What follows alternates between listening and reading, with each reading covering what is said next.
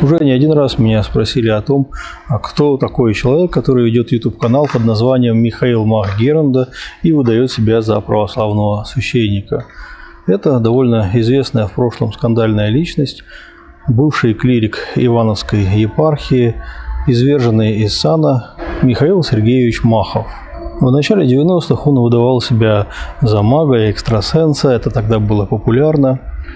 Вот как вы можете видеть, проводил сеанс телепатической связи с представителем высшего разума, представлялся членом Международного братства магов, экстрасенсом. Затем он решил стать православным священником, и это ему, к сожалению, удалось. Увы, в Ивановской епархии при покойном архиепископе Амвросии подобные вещи случались не один раз, когда люди, очевидно, недостойные священного сана оказывались рукоположены. В отношении конкретно Михаила Махова два священника, узнав о том, что он собирается быть рукоположенным в священный сан, написали письма заблаговременно владыке Амвросию а, с просьбой не делать этого и с достаточно пространным объяснением. Вот я зачитаю некоторые выдержки из одного из писем. Речь идет о Михаиле Сергеевиче Махове, бывшем директоре Родниковского дворца культуры «Лидер», о котором, как об авантюристе, все в нашем городе давно наслышаны. Ради своего благополучия он не гнушается ничем, используя любые течения, которых в избытке хватает в наше время. Далее указывается, что он был и кришнаитом, затем увлекся магией и целительством, и не имея малейших медицинских знаний, ставил людям диагнозы, рекомендовал лечение, зарабатывал и поиском пропавших людей и вещей. Здесь же указывается, что популярности Махов на ниве целительства не стяжал и пересох ручеек доходов от целительства. После чего он обратился в православие и сразу же зашла речь о его рукоположении в священный сан. Несмотря на такие предупреждения, вот это письмо было датировано от февраля 1993 года. Насколько я помню, уже в марте 1993 года Михаил Махов был рукоположен владыком Амвросием в Дьяконский сан, спустя месяц в Ирийский сан. В конце того же апреля 1993 года он назначается а, вторым священником храм поселка Пестики, а в октябре того же года становится уже настоятелем этого храма. Стоит отметить, что тогда же архиепископ Амвросий рукоположил в диаконский сан и сына, несовершеннолетнего сына Михаила Махова, Евгения, которому тогда было 15 лет, и который, насколько я слышал, так и не приступал к исполнению диаконского служения, и затем уже много лет спустя был запрещен в священном служении. Прихожане храма, в котором служил Махов, э, писали многократно письма на владыка Амвросию с жалобами на данного священника, указывая о том, что он э, забросил свои священнические обязанности в весьма значительной степени и использует э, получаемые на храм деньги для своих каких-то бизнес-проектов. Все это было еще в 2000 году. Владыка Амвросий отреагировал, сделал письменное внушение Махову, в котором указывал, что ему каждодневно приходят жалобы на него. Мохов, однако же, отнюдь не внушился, но ответил достаточно грубо владыке Амвросию, и владыка Амвросий написал ему еще там в 2001 году, кажется, что он нежелательное лицо в епархии, однако же ничего предпринимать не стал в отношении него и оставил его уже как такое вот дурное наследство следующему архиерею Ивановскому владыке Иосифу. Владыка Иосиф э, назначил епархиальную комиссию, которая должна была исследовать э, состояние дел на приходе и, собственно говоря, э, деятельность господина Махова, который на тот момент являлся священнослужителем. По результатам этой деятельности глава комиссии дал рекомендацию о запрещении служения тогдашнего протеерея Михаила Махова, Однако же, несмотря на такие рекомендации, Махову еще давали шанс, и в частности, 17 июня 2008 года Епархиальный совет принял решение освободить протерея Михаила Махова от должности и назначить его настоятелем прихода в честь Рождества Пресвятой Богородицы села Шапкина Савинского района с категорическим запрещением заниматься коммерческой деятельностью. Это благословение Махов не исполнил. Из Пестяков, где у него уже был построен дом, он переезжать не захотел. После этого последовал указ о запрещении его в священнослужении. Этот указ Махов также презрел и нарушил указанные там условия запрещения. И, наконец, было принято решение о лишении его сана. На это решение э, сам господин Махов подал апелляцию в церковный суд. И вот, как э, вы можете видеть, было опубликовано решение Общецерковного суда по делу номер 0203-2010.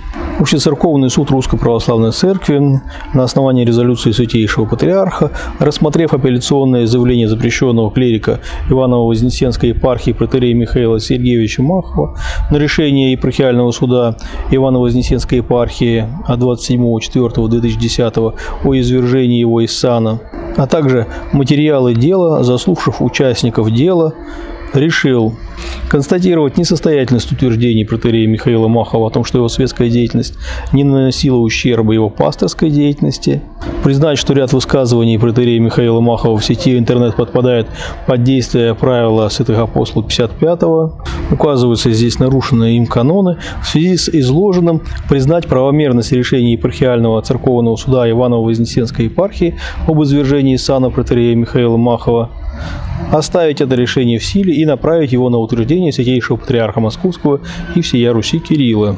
Это опубликовано на официальном сайте Патриархии, как вы видите. И решения, принятые на заседании Общецерковного суда, включая решение по Махову, вступили в законную силу. Соответствующую резолюцию об утверждении решений 29 ноября 2010 года подписал Святейший Патриарх Московский и всея Руси Кирилл. Поскольку господин Махов нередко вводит в заблуждение людей, в частности, в отношении собственной своей истории, и он э, продолжает утверждать, что якобы он не был лишен сана, а всего лишь находился под запрещением. Якобы никакого лишения сана не было, поскольку там нет документов. Вот здесь можете видеть. Это официальный документ об утверждении Святейшим Патриархом резолюции Церковного суда о лишении сана господина Махова. Рукоположение господина Махова в священный сан было ошибкой, но, к счастью, вот в 2010 году эта ошибка наконец была исправлена. И после этого, собственно говоря, воспринимать его как священника нет абсолютно никаких причин. Он лишен сана, да, или, как у нас на Руси говорили, является растригой. Он больше не священник. Поэтому, когда там меня тоже спрашивают, а вот смотрите, там вот священник, он там говорит то и все, говорит, что там э, жития святых, то есть сказки и так далее, это не священник. Его мнение, поэтому как-либо ассоциировать там, с мнением православного священства, вообще с православием абсолютно нет никаких оснований. Поэтому, собственно говоря, православному человеку слушать господина Махова, воспринимать его как священнослужителя или вообще просто как авторитет в области православной веры, на мой взгляд, это ну, совершенно нелепо. И не только потому, что он лишен сана за многочисленные канонические преступления, но и потому, что он неоднократно показывал себя как человек, который сознательно говорит ложь.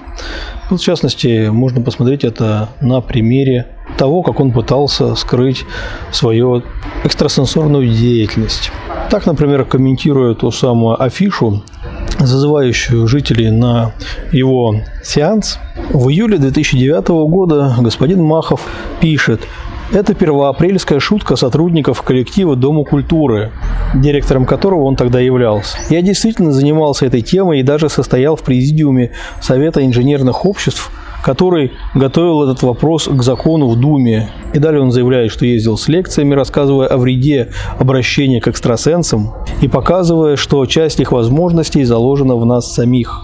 Эта афиша и была, по-видимому, передана одной из сотрудниц в 1993 году, обидевшейся, что я ушел в священники. Она сразу сильно заболела и еле выжила. Напечатана она к апрелю 1992 года. Это то, что господин Махов писал в 2009 году. А вот что он писал в 2012 году по поводу той же афиши. Эта афиша больше других материалов наделала шуму в моем деле. Она фигурировала и на епархиальном суде. Все мои заверения, что я не имею к ней отношения, судьи, такие же священники, как и я, слушать не захотели. Объяснял я им и то, что занимался этими вопросами, но на другом, научном уровне, о котором я не могу рассказать, так как давал подписку ФСБ. Ну да, вот прям как в фильмах. If I told you that, Такие вот серьезные открытия сделал господин Махов в области научного изучения экстрасенсорики, что ФСБ пришлось взять с него подписку ничего из этого не разглашать. Особенно, наверное, на епархиальном суде. Но вот дальше самое интересное. Господин Махов пишет. «Я сам терялся в догадках, откуда взялась эта Бельверда. Как вы помните, в 2009 году он точно помнил, откуда. Это была первоапрельская шутка, которую слила сотрудница, с которой потом произошли такие-то, такие-то беды за это. А в 2012 году он уже теряется в догадках и, честно признаюсь, грешил на то, что ее изготовил архимандрит Засима Шевчук. И далее со ссылкой на анонимного человека, который раскрыл ему тайну появления этой афиши, господин Махов пишет о том, что якобы напечатал эти афиши игумен Виталий Уткин специально, чтобы его скомпрометировать. Кроме вот этих весьма примечательных расхождений между версиями 2009 и 2012 годов, Михаил Махов в данном случае делает вид, что будто бы только эта афиша является свидетельством его экстрасенсорной деятельности. Однако же это совсем не так, поскольку есть публикации это из газеты «Родниковские рабочие» за то время. Вот, например, субботнее интервью и никакой мистики. Как уже сообщала наша газета, двое родниковцев В.А. Воронкова и М.С. Махов приняты в Международное братство магов. Далее в интервью приводятся слова Махова. Когда я занялся биоэнергетикой, и особенно после изучения древних индийских трактатов по йоге, я начал ощущать биополя некоторых людей. А как вы вышли на братство магов? спрашивает корреспондент. И Махов отвечает, что вот мы в ДК открыли оздоровительный кабинет. В конце прошлого года в ДК выступал Александр Чар, президент русского отделения Братства магов. Наше знакомство переросло в теплые дружественные отношения и так далее. Есть упоминания в сети о других материалах а, господина Махова за тот период времени, в которых он рекламирует экстрасенсорику. И некоторые говорят, ну это же было давным-давно. Вот. Но дело не в том, что было давным-давно, а дело в том, каков человек сейчас. Что он делает сейчас, поскольку человек, э, скажем так, мог бы признаться и сказать, да, вот было, ну вот согрешил, виноват, но я давно покаялся, и все для меня осталось в прошлом.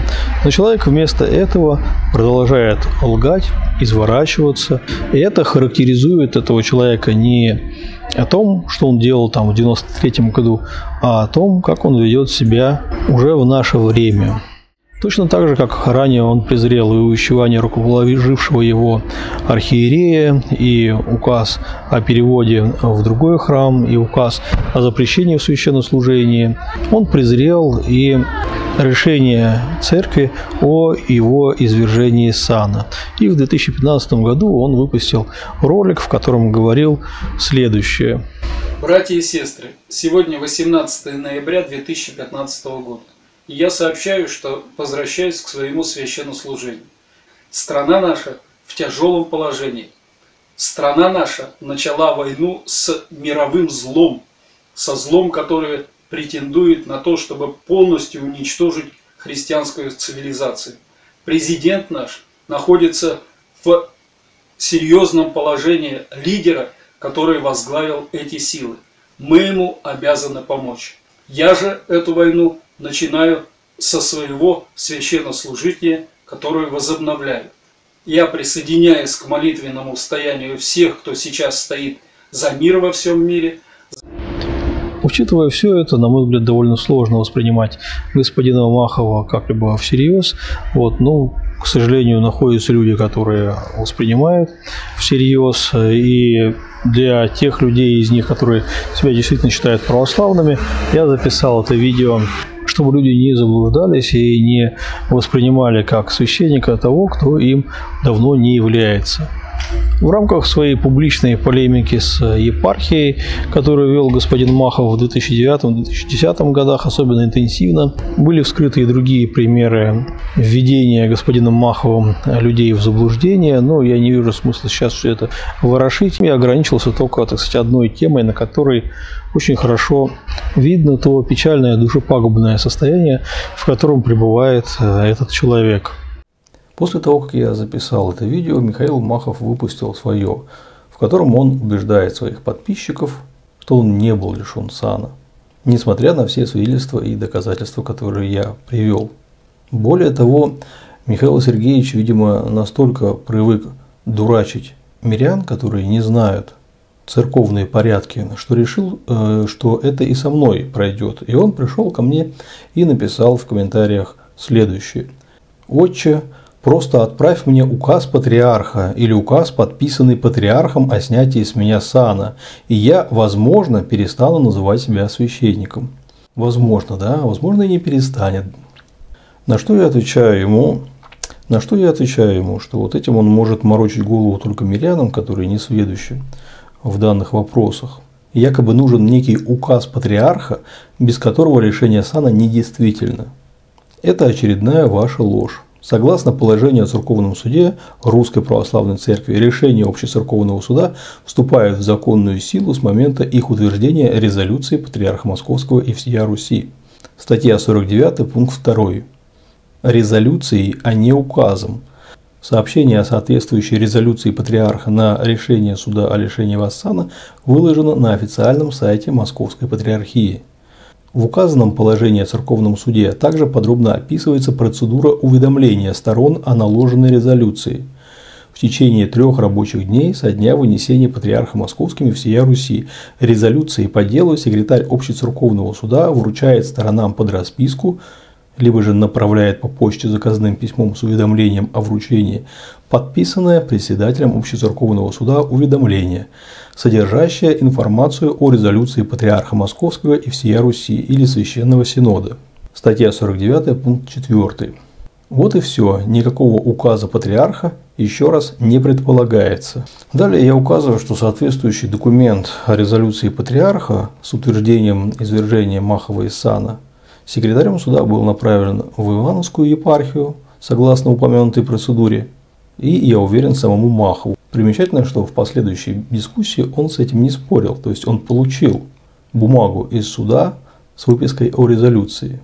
Далее я говорю о том, что если бы Махов действительно верил в ту чушь, которую он распространяет, ориентируясь на доверчивых мирян, а именно, что якобы вот указ о лишении его сана – это фальшивка, нарисованная в фотошопе его врагами – то он бы затребовал у церковного суда подлинную копию резолюции патриарха, да еще и подал бы заявление по факту изготовления клеветнической фальшивки.